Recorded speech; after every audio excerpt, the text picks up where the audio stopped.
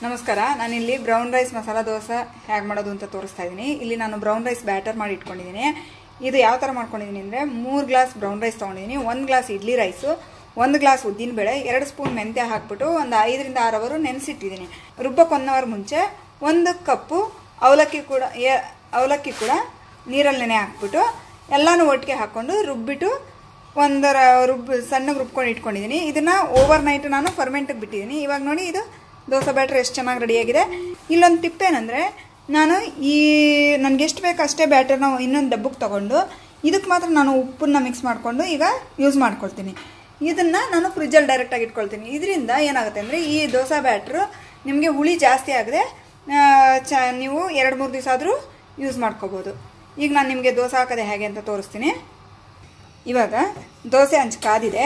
ಇದಕ್ಕೆ ಒಂದು ಸ್ವಲ್ಪ ಎಣ್ಣೆ ಹಾಕ್ಬಿಟ್ಟು ಫಸ್ಟ್ ಟೈಮು ದೋಸೆ ಹಾಕೋಕ್ಕಿಂತ ಮುಂಚೆ ಈ ಥರ ಆನಿಯನ್ನ ಹಿಂಗೆ ಕಟ್ ಮಾಡಿಕೊಂಡು ಇದನ್ನು ಎಣ್ಣೆ ಈ ಥರ ಚೆನ್ನಾಗಿ ದೋಸೆ ಹಂಚಿಗೆ ಪೂರ್ತಿ ಆಗೋವ್ರಿಗೆ ಉಚ್ಕೋಬೇಕು ಈಗ ಎಣ್ಣೆ ಹಚ್ಕೊಂಡಾಗಿದೆ.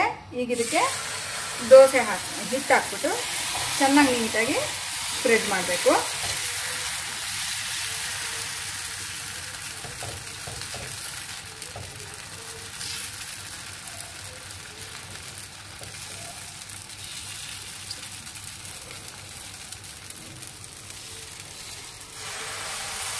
ಈ ಥರ ದೋಸೆ ಹಿಟ್ಟು ಹಾಕ್ಬಿಟ್ಟು ಕಾದೆ ಹೆಂಚಿಗೆ ಎಣ್ಣೆ ಹಚ್ಚಿದೀವಲ್ಲ, ಈಗ ದೋಸೆ ಹಿಟ್ಟು ಹಿಂಗೆ ಹಾಕ್ಬಿಟ್ಟು ನಿಧಾನವಾಗಿ ಈ ಥರ ರೌಂಡಾಗಿ ನಾವು ದೋಸೆನ ಫಸ್ಟು ಸ್ಪ್ರೆಡ್ ಮಾಡ್ಕೋಬೇಕು.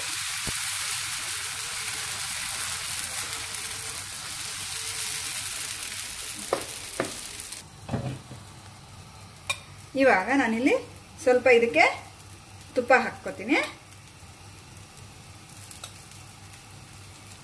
ಈ ದೋಸೆ ಕೂಡ ಹಾಕೋತಾ ಇದೀನಿ ನಾನು ಒಂದೇ ಸಲಕ್ಕೆ ಎರಡೆರಡು ದೋಸೆ ಮಾಡ್ಕೊಳ್ತೀನಿ. ಇದರಿಂದ ನನಗೆ ಫಾಸ್ಟಾಗಿ ನಾನು ದೋಸೆಗಳು ಮಾಡ್ಬೋದು. ಈಗ ಇದು ಮಾಡಿದ್ಮೇಲೆ ಒಂದೊಂದಾಗಿ ನಾನು ಫಸ್ಟ್ ಎದೇಳ್ತಾ ಇದೆಯಾ ಇಲ್ಲ ಚೆಕ್ ಮಾಡ್ಕೋತಾ ಇದ್ದೀನಿ ಹೇಗಿದೆ ಇದಕ್ಕೆ ನಾನು ಇವಾಗಿನ್ನು ಪ್ರಿಪೇರ್ ಮಾಡ್ಕೊಂಡಿರ್ತಕ್ಕಂಥ ಮಸಾಲ ಇದೆಯಲ್ಲ, ಅದನ್ನು ಸ್ವಲ್ಪ ಹಿಂಗೆ ಸೆಂಟ್ರಲ್ಲಿ ಇಟ್ಬಿಟ್ಟು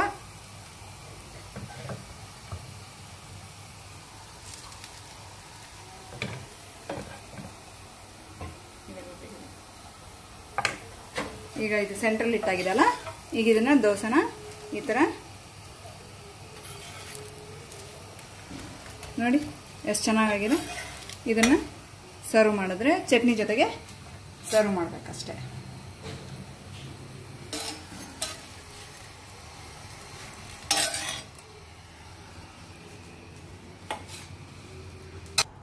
ನೋಡಿ, ಮಸಾಲೆ ದೋಸೆ ರೆಡಿಯಾಗಿದೆ ಇದನ್ನು ತೆಂಗಿನಕಾಯಿ ಚಟ್ನಿ ಜೊತೆಗೆ ಸರ್ವ್ ಮಾಡಿದ್ರೆ ತುಂಬಾ ಟೇಸ್ಟಿಯಾಗಿರುತ್ತೆ ನೀವು ಕೂಡ ಇದನ್ನು ಟ್ರೈ ಮಾಡಿ ನೋಡಿ. ಇದು ಬ್ರೌನ್ ರೈಸು ತುಂಬ ಹೆಲ್ತ್ ಒಳ್ಳೆಯದು ಸೊ ನೀವು ನಾರ್ಮಲ್ ಇಡ್ಲಿ ರೈಸ್ ಕೂಡ ತೊಗೊಂಡು ಸೇಮ್ ಪ್ರಪೋರ್ಷನಲ್ ನಾನು ಹೇಳಿದ ಪ್ರಪೋರ್ಷನಲ್ ನೀವು ಮಾಡ್ಕೋಬೋದು. ಅದು ಚೆನ್ನಾಗಿರುತ್ತೆ. ಇದು ನಿಮಗೆ ಈ ರೆಸಿಪಿ ನಿಮ್ಗೆ ಇಷ್ಟ ಆಗಿದ್ದಲ್ಲಿ ನನ್ನ ಚಾನಲ್ನ ಸಬ್ಸ್ಕ್ರೈಬ್ ಮಾಡ್ಕೊಳ್ಳಿ ಮತ್ತು ಲೈಕ್ ಮಾಡಿ ನಿಮ್ಮ ಫ್ರೆಂಡ್ಸ್ ಜೊತೆ ಶೇರ್ ಮಾಡಿ. ಧನ್ಯವಾದಗಳು.